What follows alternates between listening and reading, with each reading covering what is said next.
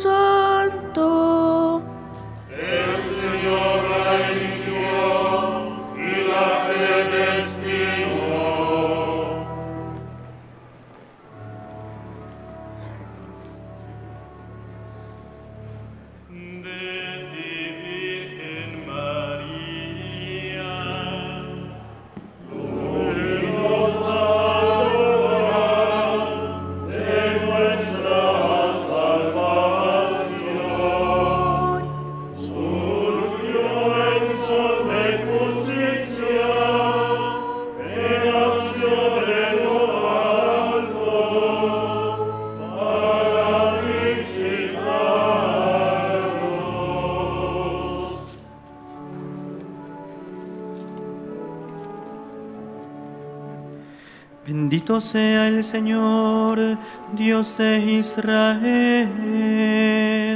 Porque ha visitado y redimido a su pueblo.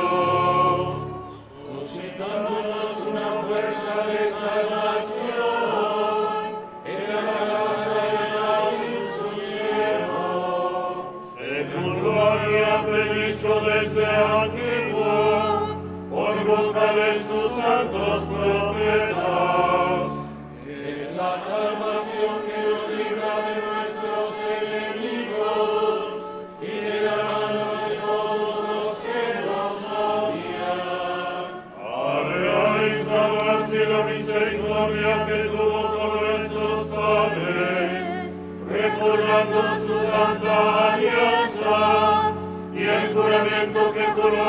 nuestro padre Abraham.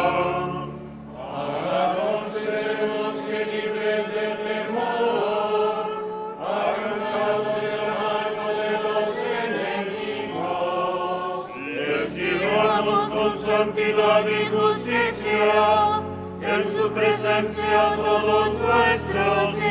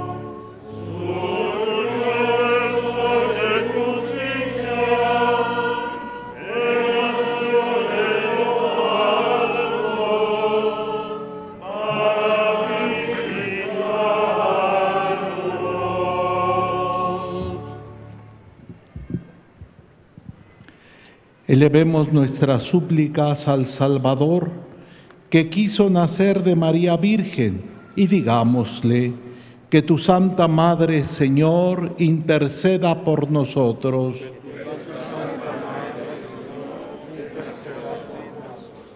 Salvador del mundo, tú que con la eficacia de tu redención preservaste a tu madre de toda mancha de pecado, líbranos también a nosotros de toda culpa. Que tu Santa Madre, Señor, interceda por nosotros.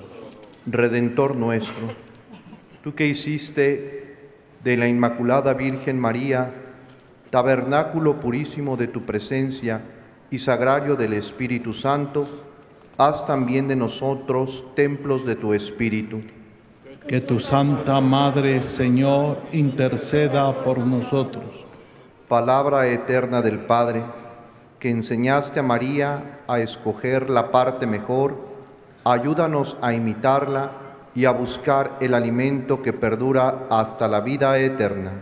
Que tu Santa Madre, Señor, interceda por nosotros. Rey de Reyes, que elevaste contigo a tu Madre en cuerpo y alma al cielo, haz que aspiremos siempre a los bienes celestiales. Que tu Santa Madre, Señor, interceda por nosotros. Señor del cielo y de la tierra, que has colocado a tu derecha a María Reina, danos el gozo de tener parte en su gloria. Que tu Santa Madre, Señor, interceda por nosotros.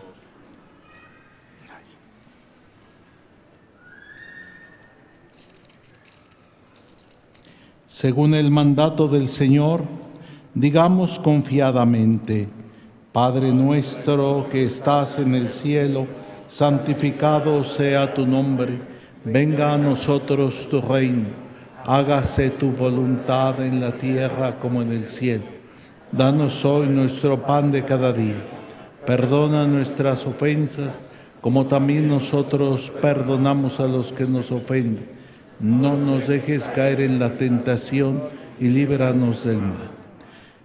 Ven en ayuda de nuestra debilidad, Dios de misericordia, y haz que al recordar hoy a la Inmaculada Madre de tu Hijo, por su intercesión nos veamos libres de nuestras culpas. Por nuestro Señor Jesucristo, tu Hijo, que vive y reina contigo en la unidad del Espíritu Santo y es Dios por los siglos de los siglos. El Señor esté con ustedes. La bendición de Dios Todopoderoso, Padre, Hijo y Espíritu Santo, descienda sobre ustedes.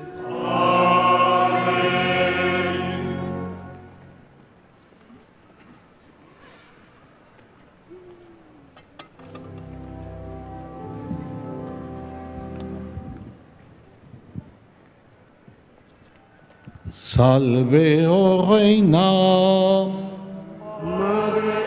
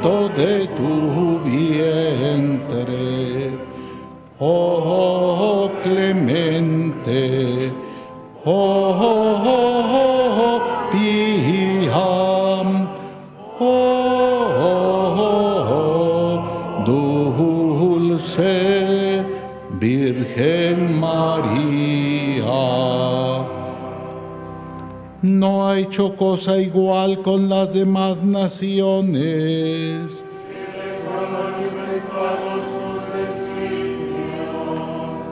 Oremos.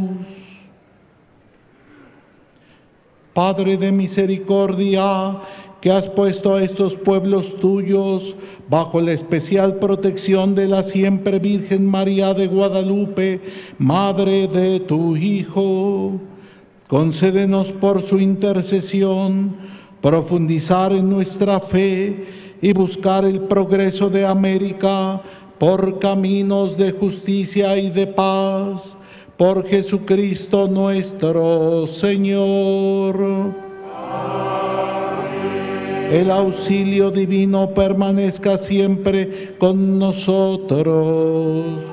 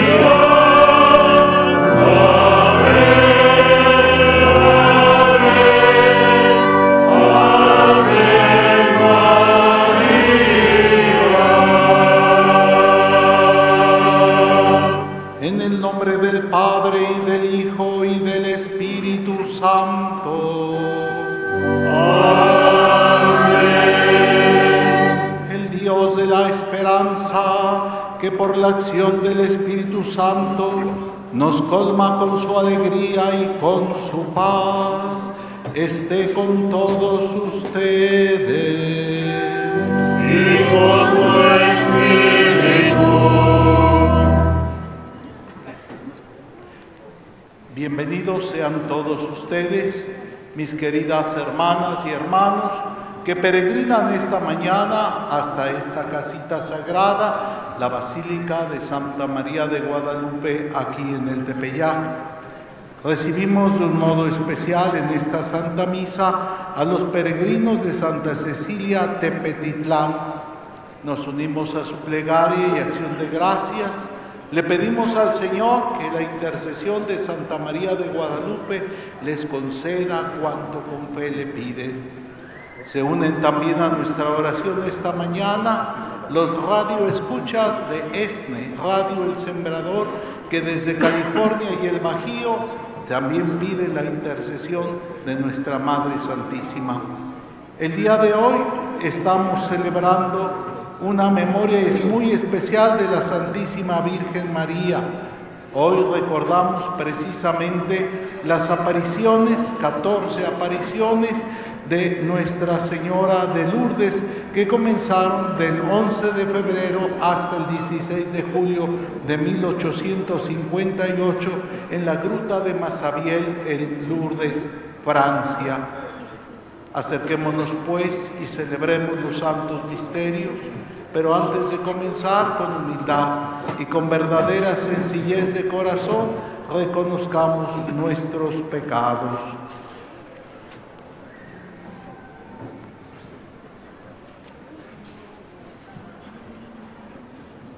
Tú que has venido a buscar al que estaba perdido,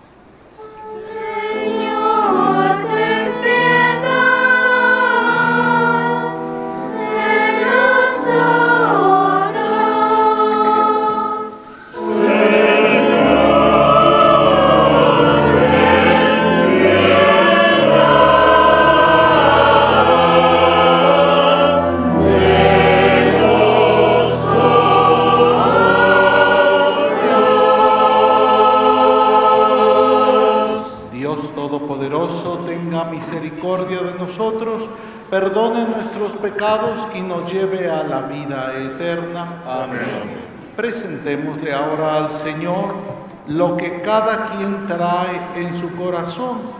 Queremos encomendar de un modo muy especial a dos hermanos sacerdotes a quienes es el Señor ha llamado a su presencia, el Padre Héctor Tello Gutiérrez, que fue formador de varios de nosotros, de los que estamos aquí reunidos, ¿verdad? El Padre Roberto Lira Vargas, ¿verdad? Lara Vargas, perdón, Lara Vargas, que murió también ayer, para encomendarnos. Y también pedimos hoy también de un modo especial por el diácono Francisco León en el día de su cumpleaños. Oremos.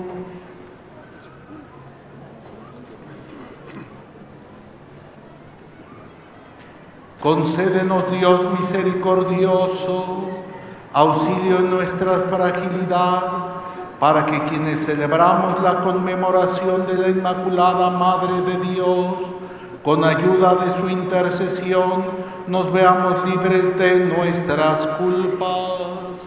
Te lo pedimos por Jesucristo nuestro Señor, que vive y reina contigo en la unidad del Espíritu Santo y es Dios por los siglos de los siglos.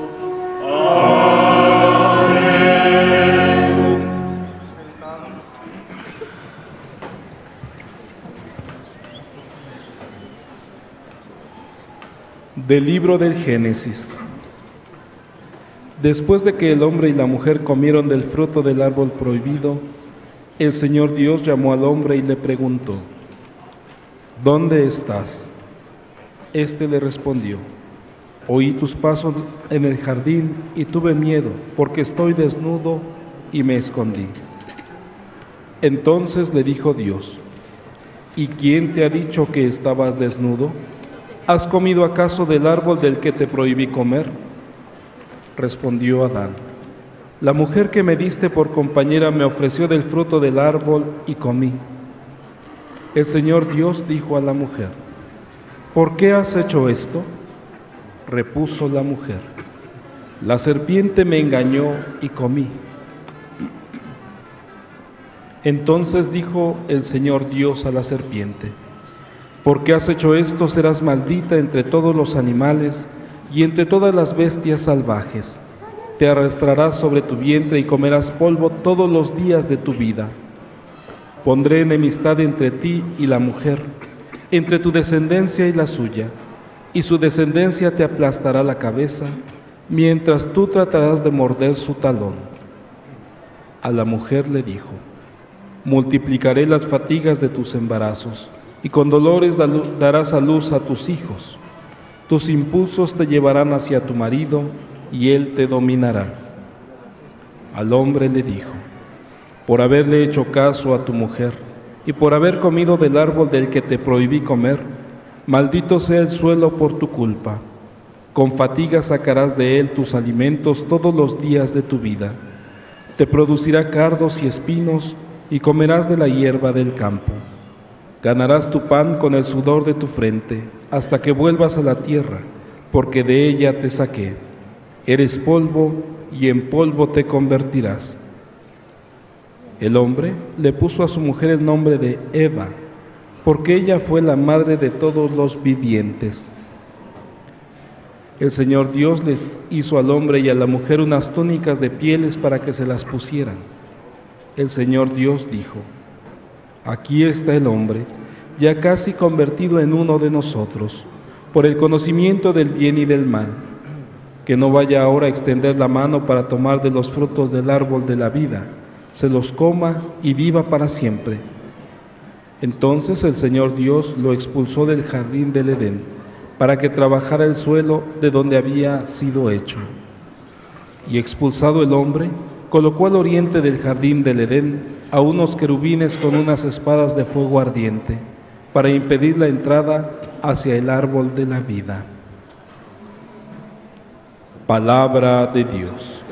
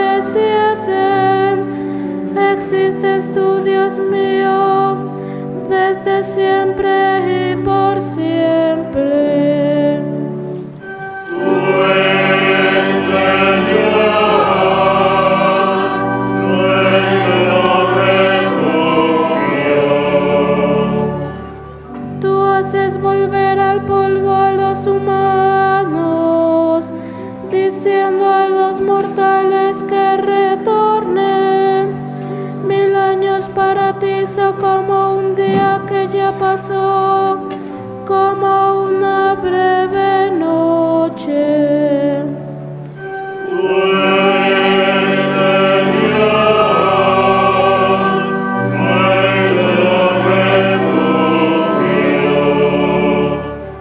Nuestra vida es tan breve como un sueño, semejante a la hierba que despunta y florece. La tarde se marchita y se seca.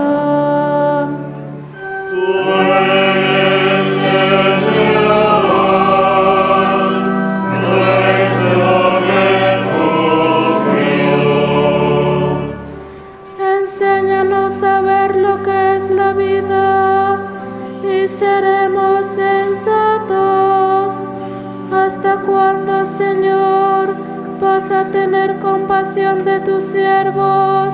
¿Hasta cuándo?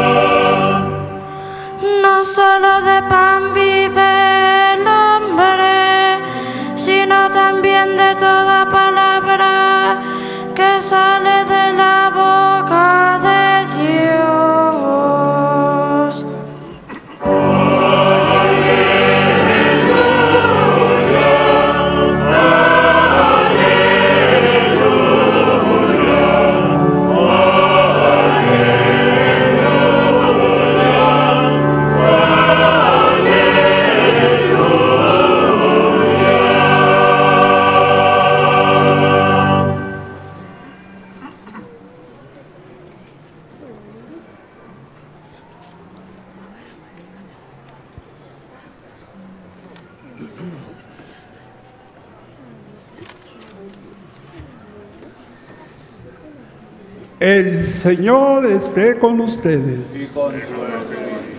Del Santo Evangelio según San Marcos.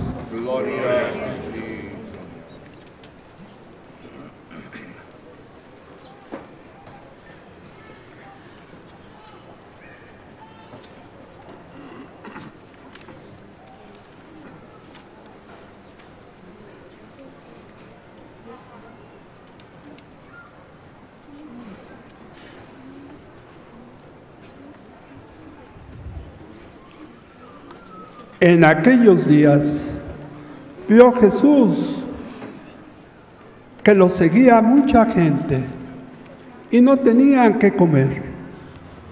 Entonces llamó a sus discípulos y les dijo, me da lástima esta gente, ya llevan tres días conmigo y no tienen que comer.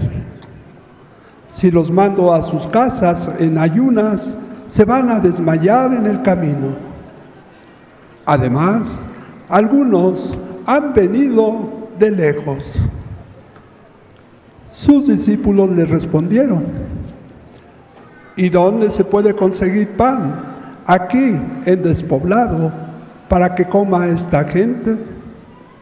Él les preguntó, ¿cuántos panes tienen? Ellos le contestaron, siete.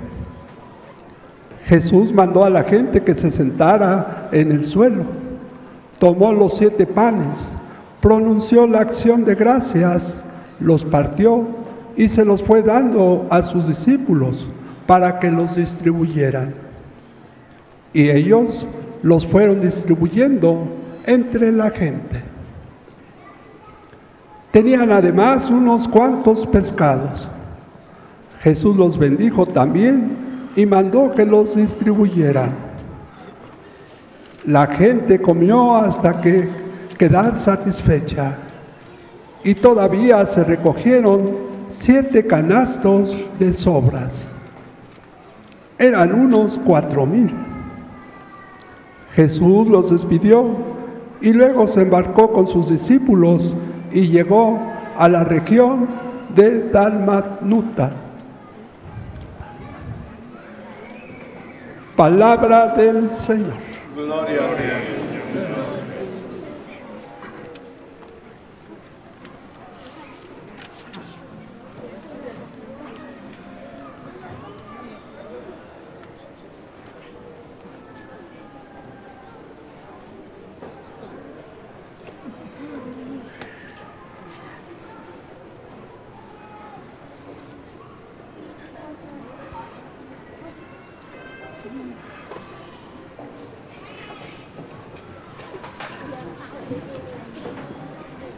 queridas hermanas y hermanos todos en el Señor.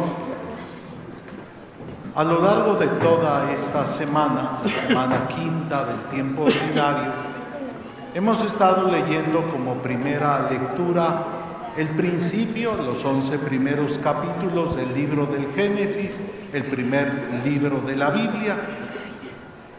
Y hemos estado escuchando cómo Dios ha creado todo, todo lo que tenemos, todo lo que vemos, que lo ha creado precisamente para el hombre. Ha creado al hombre y ha creado a la mujer, como hemos estado escuchando. Al principio todo fue bueno y la situación de Adán y Eva en el paraíso, podríamos decir, nos la presenta un tanto idílica, pero llegó el pecado y cambió todo. La primera página negra de la historia de la humanidad que ha tenido consecuencias universales. La primera página, cierto, pero no la última.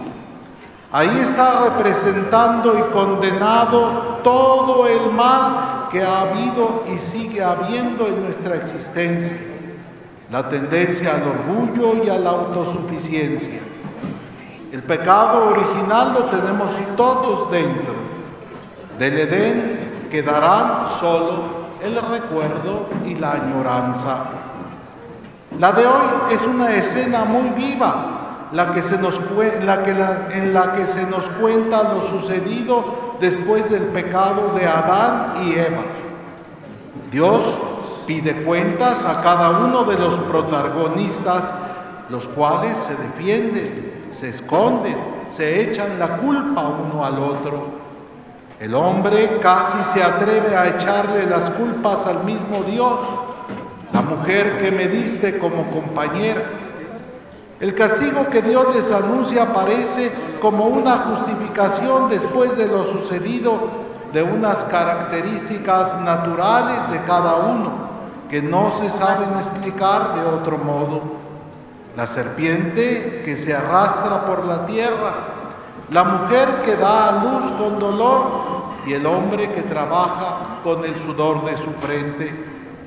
También el pudor que de repente empiezan a sentir parece como un signo de que algo no funciona en la armonía sexual de antes.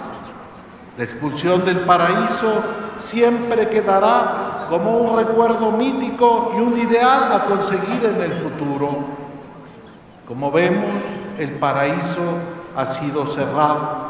El hombre ha sido expulsado de él. Se ha roto la comunión entre Dios y el hombre. ¿Tendrá así sentido la vida de la persona humana?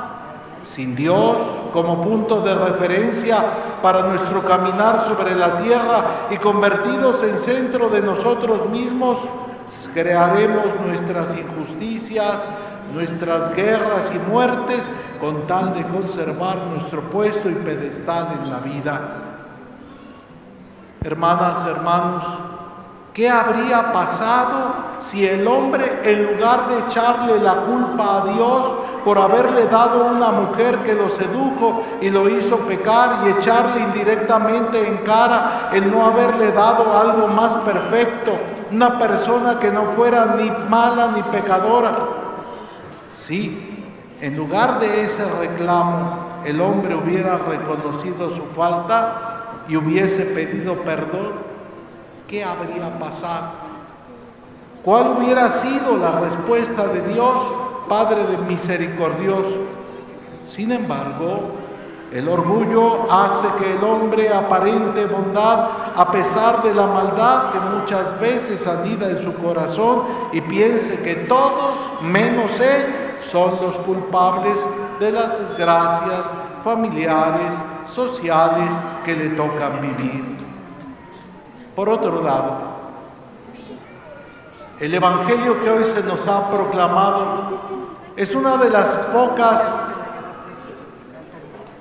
pero vamos a decir, los pocos momentos, los pocos pasajes en los que se nos habla de los sentimientos humanos de Jesús. La compasión al sentir lástima por la gente que lo sigue. No quiere que por falta de alimento se vayan a desmayar en el camino de regreso a sus casas. Ya antes San Marcos había relatado una primera multiplicación de los panes en territorio judío, donde multiplicó cinco panes y dos pescados, como para indicar que ellos son los primeros invitados. Ahora realiza otra multiplicación de panes en territorio pagano, como para indicar que también ellos, los paganos, como todos los venidos de Oriente y Occidente, están invitados a sentarse junto con Abraham, Isaac y Jacob en el banquete preparado por Dios. Por eso nuestra Eucaristía jamás puede convertirse en una celebración de élite. No se puede celebrar misa para los pobres y misa para los ricos misa para los de la ciudad y misa para los de barriada, misa para razas superiores o misa para las demás razas, misa para los que tienen razón y misa para los que no tienen razón. Todos somos uno en Cristo. La Eucaristía, mis hermanos, tampoco se puede celebrar por contrato no puede ser exclusiva para personas determinados en lugares determinados donde solo pueda entrarse con invitación. La Eucaristía debe estar abierta a toda la clase de personas, porque la Eucaristía es de la iglesia, es decir, de la comunidad, y no puede ser atrapada por nada ni por nadie. Cristo es de todos y para todos. Tal vez el afán de lucro ha sido como la serpiente que seduce y corrompe hasta lo más sagrado. Y a veces le hacemos más caso que al Señor que quiere que todos vivamos en torno a Él sin distinción alguna, excepto el de nuestras buenas obras. Por tanto, Hemos de permitirle al Señor que aplaste la cabeza de nuestro propio orgullo para que al igual que Él no retuvo para sí el ser como Dios y se abajó para hacerse uno de nosotros y conducirnos unidos hacia el Padre, así nosotros no nos sentemos en un trono de gloria, de paja, sino que sepamos convivir con todos y hacernos cercanos a todos para caminar unidos en Cristo a la perfección del mismo Dios en nosotros. Hoy al celebrar precisamente esta memoria de Nuestra Señora de Lourdes, recordamos que esta advocación católica hace referencia a las 18 apariciones de la Virgen María que Bernadette Subirú afirmó haber presenciado en la gruta de Masabiel a orillas del río Gave de Po, en las afueras de la población de Lourdes, Francia, en las estribaciones de los Pirineos, el año de 1858. Ya en vida de Bernardet, multitud de católicos creyeron en las apariciones de la Virgen María como vehículo de la gracia de Dios. Y el Papa, el Beato Pío IX, autorizó al obispo local para que permitiera la veneración de la Virgen María en Lourdes en 1862, unos 17 años antes de la muerte de Bernardet. Desde entonces, la advocación de la Virgen María como Nuestra Señora de Lourdes ha sido motivo de gran veneración y su santuario es también uno de los más visitados del mundo. La Iglesia Católica invoca a Nuestra Señora de Lourdes como patrona de los enfermos. Que este Padre misericordioso que nos muestra constantemente su amor y su misericordia, nos conceda por intercesión de nuestra Santísima Madre y la de todos los santos y beatos la gracia de vivir sin mancha del egoísmo, del orgullo, del desprecio al prójimo. Que podamos así ver en nuestra vida terrena que es solo una breve peregrinación hacia la verdadera vida. Por ello, que Dios nos conceda la sabiduría necesaria para ser sentados y no perder la oportunidad de que algún día unidos por un mismo espíritu estemos en la vida sin ocaso que nos ofrece Jesucristo, nuestro Señor y Salvador. Así sea. Así sea.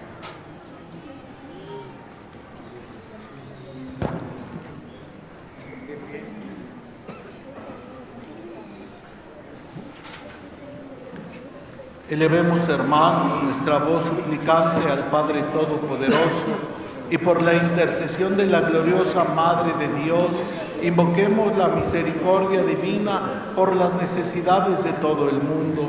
Oremos y digamos a cada una de estas peticiones que la llena de gracia interceda por nosotros. Que la llena de gracia interceda por nosotros. Para que todos los fieles, a imitación de María, conserven la fe íntegra, la esperanza firme y la caridad ardiente. Oremos. Que la llena de gracia interceda por nosotros. Para que el Espíritu Santo que engendró en las entrañas de María al Hijo del Padre Eterno, ilumine y aliente a todos los hombres y los conduzca al conocimiento y al amor de su Creador. Oremos. Que la llena de gracia interceda por nosotros. Para que el ejemplo de María sufriente al pie de la cruz dé valor a los que viven rodeados de dificultades y dolor. Oremos la llena de gracia interceda por nosotros. Para que todos nosotros, puestos los ojos en María, nos esforcemos en imitarla y crezcamos como ella en toda clase de virtudes. Oremos. Que la llena de gracia interceda por nosotros.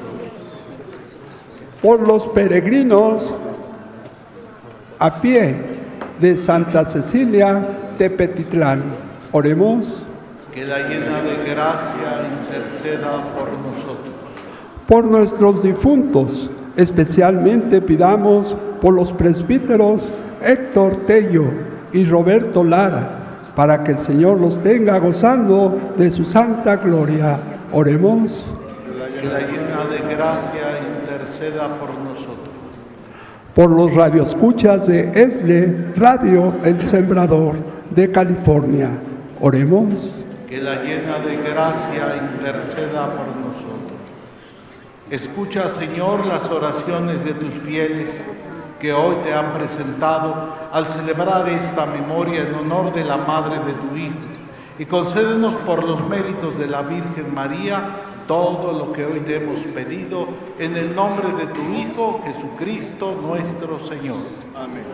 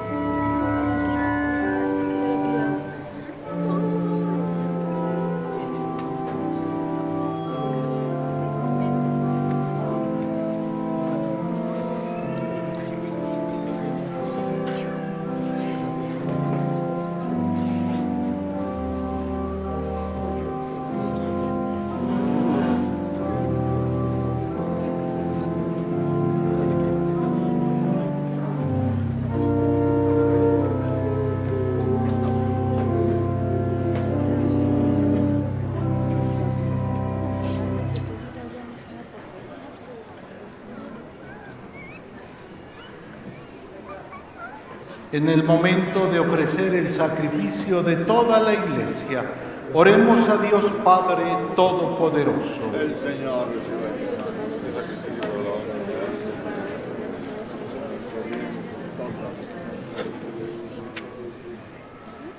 Recibe, Señor, las oraciones de tu pueblo junto con las ofrendas que te presentamos, para que por la intercesión de Santa María, Madre de tu Hijo, ningún buen propósito quede sin realizarse y ninguna de nuestras súplicas quede sin respuesta.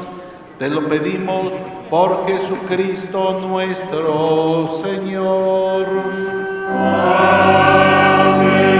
El Señor esté con ustedes. Levantemos el corazón.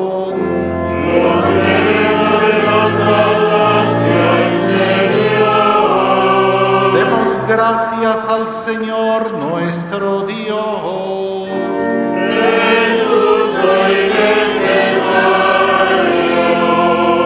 En verdad es justo y necesario, es nuestro deber y fuente de salvación proclamar que eres admirable en la perfección de todos tus santos y de un modo singular en la perfección de la Virgen María. Por eso, al celebrarla hoy queremos exaltar tu benevolencia inspirados en su propio cántico, pues en verdad has hecho maravillas por toda la tierra y prolongaste tu misericordia de generación en generación cuando complacido en la humildad de tu sierva nos diste por su medio al autor de la salvación, Jesucristo, Hijo tuyo y Señor nuestro. Por él los ángeles y los arcángeles te adoran eternamente gozosos en tu presencia. Permítenos unirnos a sus voces cantando humildemente tu alabanza.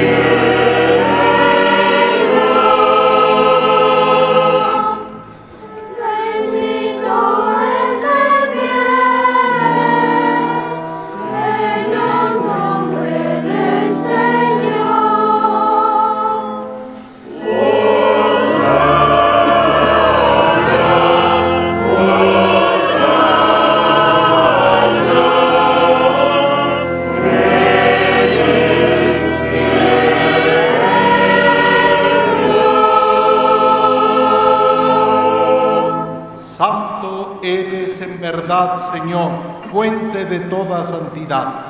Por eso te pedimos que santifiques estos dones con la efusión de tu Espíritu, de manera que se conviertan para nosotros en el cuerpo y la sangre de Jesucristo nuestro Señor, el cual cuando iba a ser entregado a su pasión voluntariamente aceptada, tomó pan.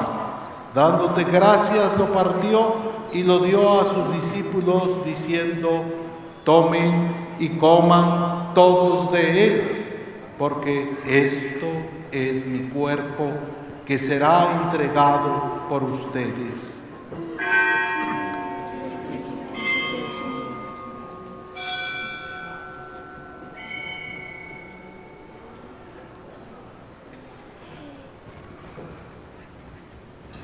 Del mismo modo, acabada la cena, tomó el cáliz y dándote gracias de nuevo, lo pasó a sus discípulos diciendo, tomen y beban todos de él, porque este es el cáliz de mi sangre, sangre de la alianza nueva y eterna, que será derramada por ustedes y por muchos para el perdón de los pecados. Hagan esto en conmemoración mía.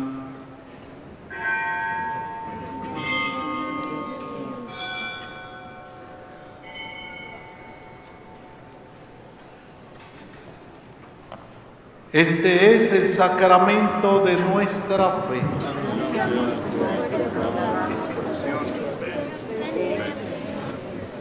Así pues, Padre, al celebrar ahora el memorial de la muerte y resurrección de tu Hijo, te ofrecemos el pan de vida y el cáliz de salvación y te damos gracias porque nos haces dignos de servirte en tu presencia.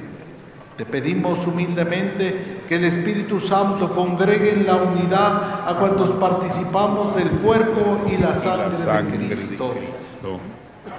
Acuérdate, Señor, de tu iglesia extendida por toda la tierra. Y con el Papa Francisco, con nuestro obispo Norberto, sus obispos auxiliares y vicarios episcopales, y con todos los pastores que cuidan de tu pueblo, llévala a su perfección por la caridad.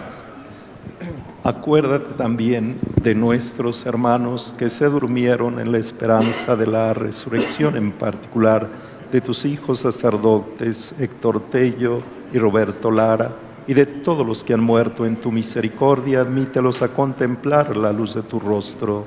Ten misericordia de todos nosotros y así con María la Virgen, Madre de Dios, su esposo San José, los apóstoles, el humilde San Juan Diego y cuantos vivieron en tu amistad a través de los tiempos, merezcamos por tu Hijo Jesucristo compartir la vida eterna y cantar tus alabanzas. Por Cristo con Él y en Él, a ti Dios Padre Omnipotente, en la unidad del Espíritu Santo, todo honor y toda gloria por los siglos de los siglos.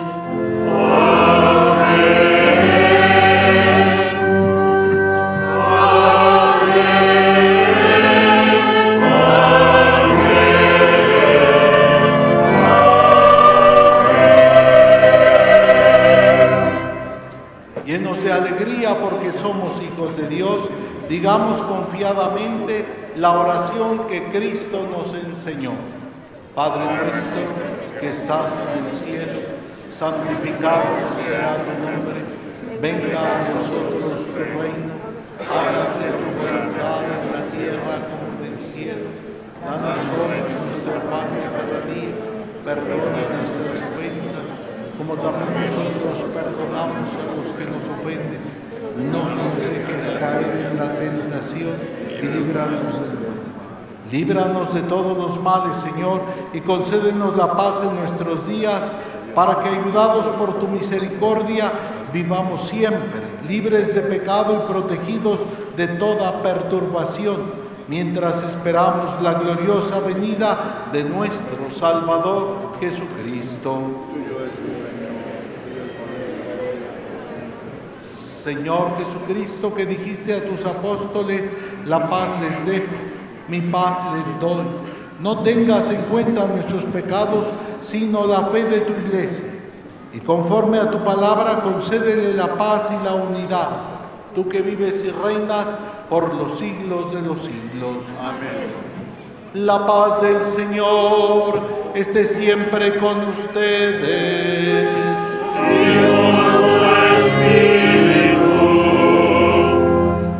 Dense fraternalmente la paz.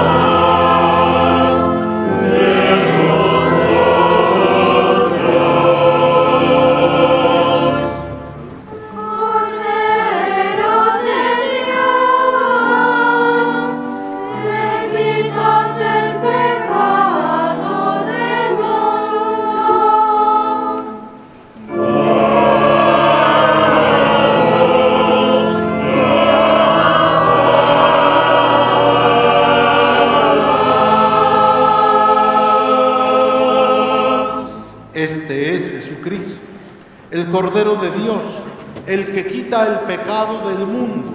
Dichosos nosotros invitados a la mesa del Señor.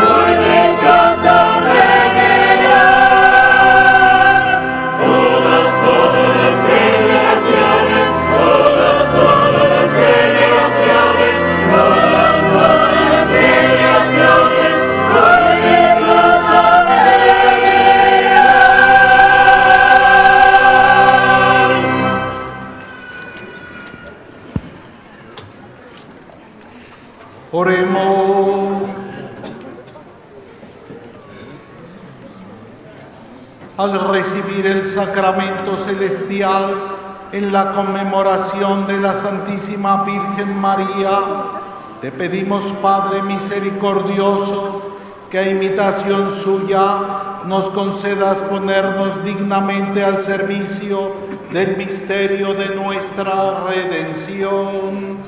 Por Jesucristo nuestro Señor.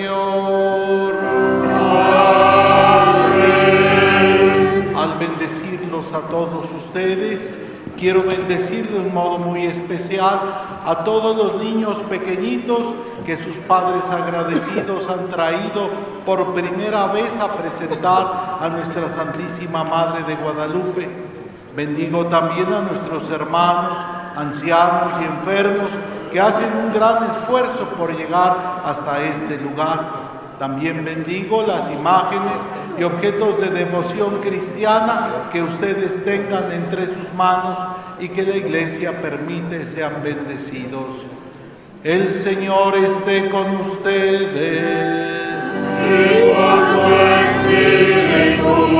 Que el arraigadísimo Dios por quien vivimos, que en su providencia amorosa envió hasta este lugar a Santa María de Guadalupe para anunciarnos su amor, compasión, auxilio y defensa, los llene con la abundancia de sus bendiciones y les conceda los dones espirituales y materiales de su protección.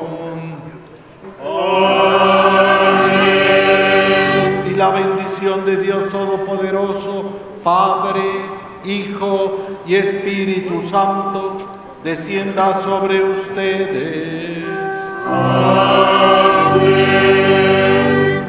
La alegría del Señor sea nuestra fuerza. Pueden ir en paz. Demos gracias a Dios. Que todos tengan un buen día y un buen regreso a sus hogares.